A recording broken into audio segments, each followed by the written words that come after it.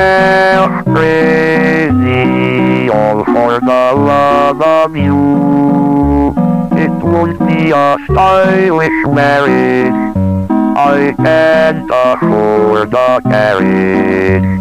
But you look sweet upon the seat of a bicycle built for two.